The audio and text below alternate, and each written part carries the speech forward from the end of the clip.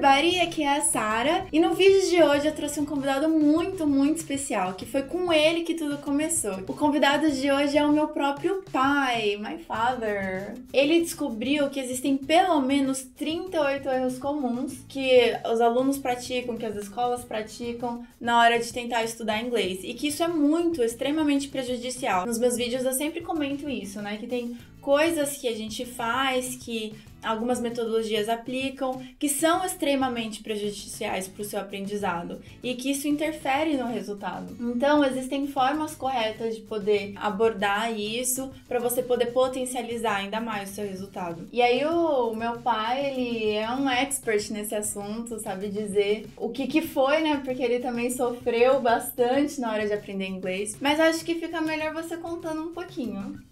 Que tal? Ok. Bom, sempre tive muita dificuldade para aprender inglês, né? Eu realmente não tinha a menor facilidade de, de, aprendizado com inglês e cheguei um tempo da minha vida que eu simplesmente eu acabei desistindo. Eu achei que o problema realmente estava em mim, mas nem era muito na minha cabeça, mas na ferramenta que a gente estava usando para aprender, né? Uhum. E é comum isso hoje, se você é um estudante de inglês, você vai perceber que todas as escolas, todas as metodologias usam um sistema meio que parecido um com o outro. E a grande pergunta que a gente tem que fazer é se essa ferramenta, se esse material, ele realmente vai ajudar ou ele vai atrapalhar, né? Exatamente. Nas descobertas que nós fizemos, né, aí a gente envolveu a família e tantos outros alunos que também, assim como eu, tinham dificuldades, né? Estudando, analisando tudo que se tem hoje no Brasil, a gente descobriu que o grande problema hoje está nas ferramentas. Então, a metodologia que hoje existe no Brasil, ela não foi criada para ensinar inglês para brasileiros, ela foi criada para aperfeiçoar inglês de um nativo. E é por isso que os professores eles começam falando inglês com a gente. E eu detestava isso porque eles ficavam fazendo mímica, eles ficavam fazendo com que a gente tentasse entender alguma coisa e a gente ficava boiando. E aquilo ia me dando um pavor muito grande. E eu fazia o quê? Acabava desistindo. Durante muito tempo eu passei a achar que eu não gostava do inglês. Por quê? Porque não tinha êxito. Então, eu não sei se é o seu caso ou não, mas se você tiver estudando inglês numa metodologia hoje no Brasil, provavelmente você está passando pela mesma dificuldade. Mas eu tenho uma boa notícia. Eu tenho certeza que o problema não está em você, mas sim na ferramenta que você está usando. Por isso que a gente faz o que faz hoje. Depois que a gente descobriu que existem esses erros, né? E eu consegui numerar 38, mas acredito que exista mais, ah, é. existam mais do que 38. Nós começamos então a mudar essa realidade uh, através de, de, processos mais simples, processos que dá mais resultado para o aluno e esses processos que eu mesmo experimentei e dessas coisas que você notou, né? Que a gente notou dos 38 erros comuns, qual que você acha que se destacava mais, assim, com relação ao seu aprendizado? É uma, uma coisa bem, bem importante, a questão da gramática aplicada e a gramática explicada,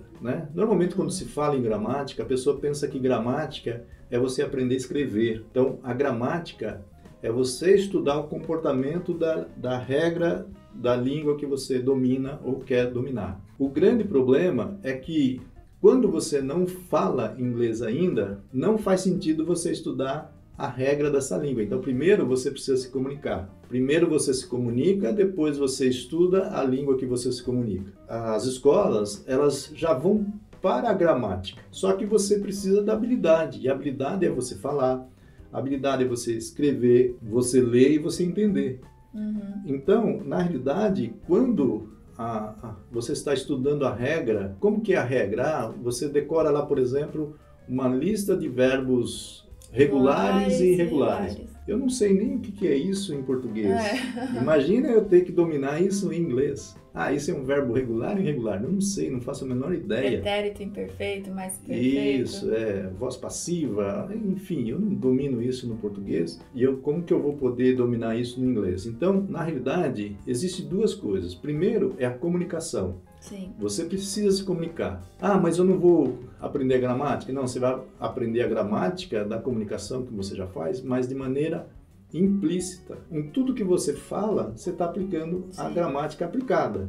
Agora, quando você começa a estudar um idioma, estudar o comportamento dele é como se você quisesse dirigir um carro e você vai numa oficina mecânica e estuda tudo sobre motor, tudo sobre a parte elétrica. Você vai ficar conhecedor de um carro, não vai conseguir dirigir, você não vai conseguir dirigir. Esse sistema, esse modelo de aprender inglês por gramática, e 99% está tentando aprender inglês através da gramática, Exatamente. estudando gramática, estudando comportamento do idioma. Se você entrar numa escola, a primeira coisa que eles vão fazer é te dar uma lista de verbo regular e irregular, vão te falar da, disso, daquilo, tudo é regra. Uhum. E o que você precisa de verdade é a comunicação. Exatamente. E a comunicação que a gente fala é tanto oral quanto escrita.